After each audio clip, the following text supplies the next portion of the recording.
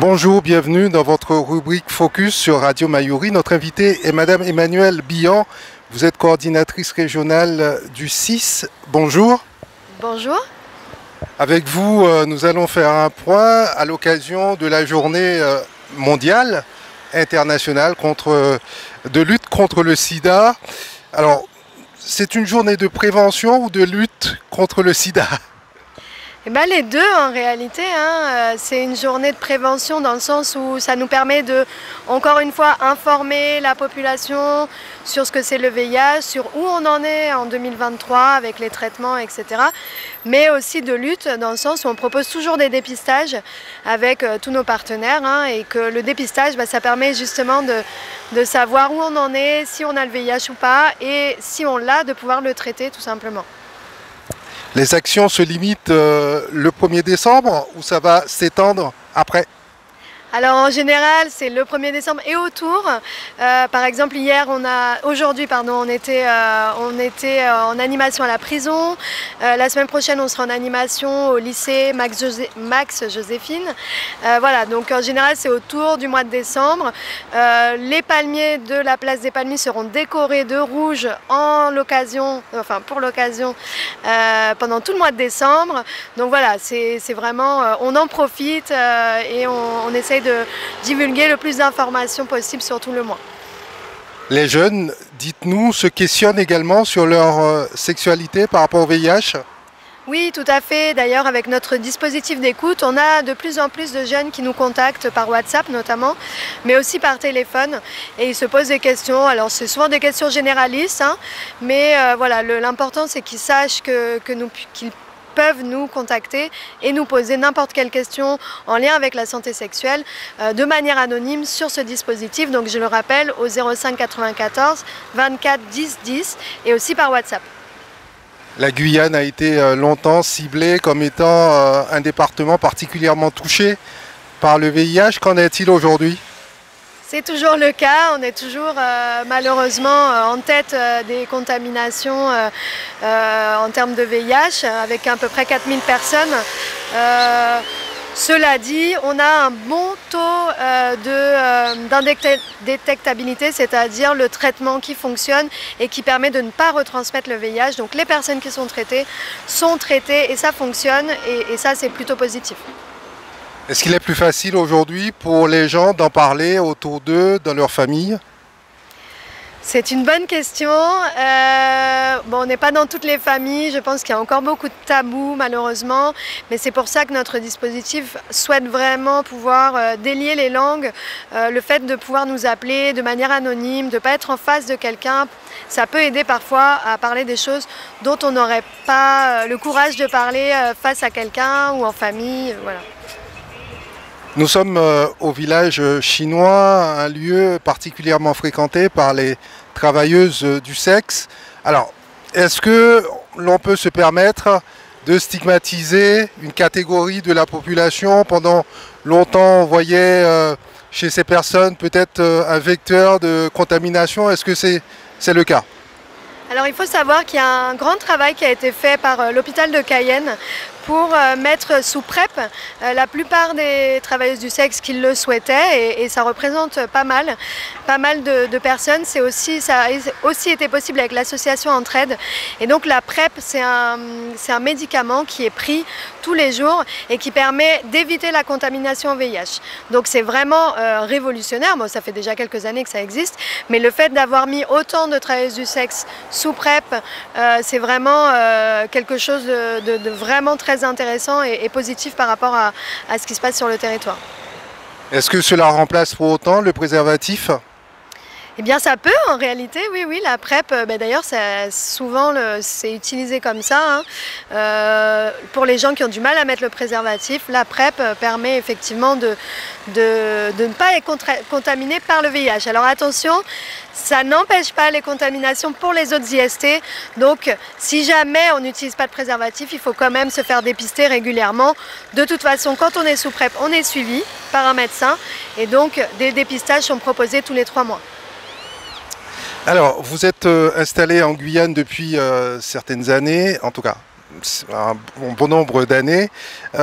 quel est le bilan que vous pouvez dresser de votre présence sur le territoire et de votre action au quotidien?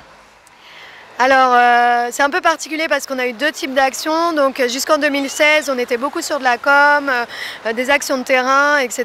Ça a bien fonctionné. On organisait souvent les 1er décembre avec tous les partenaires.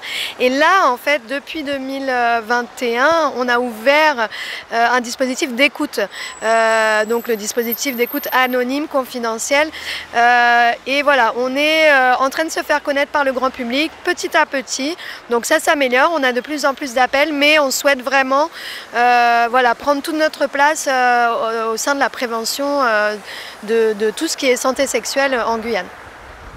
Le 1er décembre, c'est une occasion pour vous de mettre le projecteur sur ce que vous faites peut-être dans l'ombre le reste de l'année?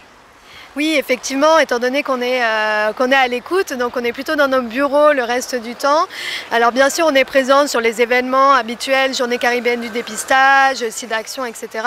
Mais le 1er décembre, c'est vraiment, ça nous tient à cœur et puis ça permet aussi d'apporter une note euh, festive euh, et, une ouverture au débat, au grand public sur le VIH, ce qu'on fait, la santé sexuelle. Donc voilà, c'est aussi agréable pour nous que ça l'est pour le public, en tout cas je l'espère. Donc à vous entendre, on vit de plus en plus mieux, de mieux en mieux en tout cas, aujourd'hui avec le VIH Effectivement, euh, maintenant quelqu'un qui est sous traitement euh, peut vivre euh, de la même manière que quelqu'un qui n'a pas le VIH. C'est-à-dire qu'une fois que le traitement fonctionne, on devient indétectable. Donc la quantité de virus, elle baisse dans le corps et ce qui permet donc de pouvoir avoir des rapports sexuels non protégés, de pouvoir avoir des enfants, de vivre aussi longtemps que n'importe quelle personne qui n'a pas le VIH. Tant qu'on prend correctement son traitement, bien sûr, tous les jours. Est-ce une raison de relâcher euh, la vigilance? Non, bien sûr que non. En réalité, euh, c'est plus une question d'information, informer les personnes que ce traitement existe et que ça fonctionne. Euh, c'est vraiment tout l'intérêt. et puis voilà, c'est les avancées scientifiques qui sont, qui sont intéressantes et qu'il faut, faut absolument bah, mettre à la une dans les journaux hein, en réalité. La prise en charge est-elle homogène au niveau du territoire?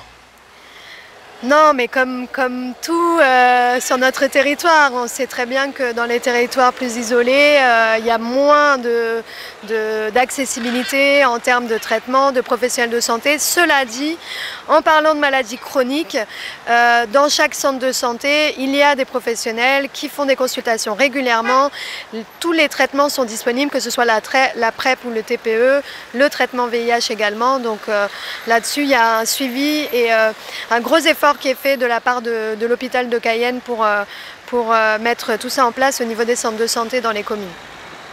Pour revenir au 1er décembre, la journée euh, internationale de lutte contre le sida, cela se traduit par l'ouverture des lieux de, des lieux où on peut se tester, en tout cas des lieux de diagnostic, peut-être un peu plus qu'en temps normal oui, effectivement, on va, euh, on va ouvrir un peu plus, c'est-à-dire on va proposer du euh, TROD, donc euh, les dépistages rapides, euh, de manière plus, publique et peut-être plus nombreuse. Donc par exemple demain, le 1er décembre, hein, nous serons en partenariat avec Médecins du Monde qui ouvrira ses portes pour dépister les personnes qui souhaitent être dépistées au centre de Cayenne.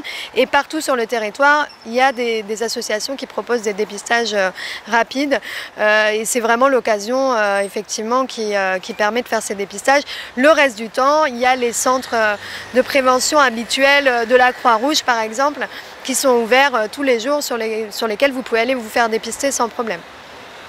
Alors, quels sont les indicateurs que vous avez? Est-ce que les jeunes, on en parlait tout à l'heure, sont les plus touchés ou au contraire, ce sont leurs parents, les personnes les plus âgées? Parlez-nous un petit peu de vos indicateurs.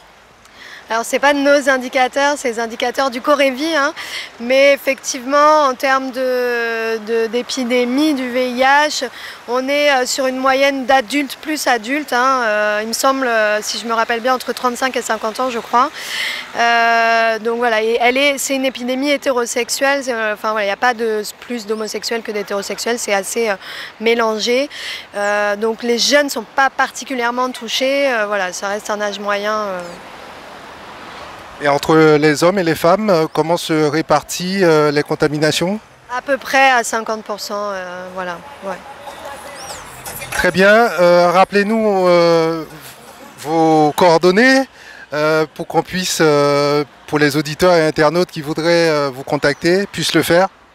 Donc euh, notre ligne d'écoute, donc euh, gratuite, anonyme, se fait donc au 05 94 24 10 10. C'est le même numéro pour WhatsApp. Il suffit de l'enregistrer dans votre téléphone et nous écrire. Il n'y a pas de souci, ça fonctionnera très bien. On se donne rendez-vous en 2024 alors pour la prochaine journée? Ça marche. À dans un an.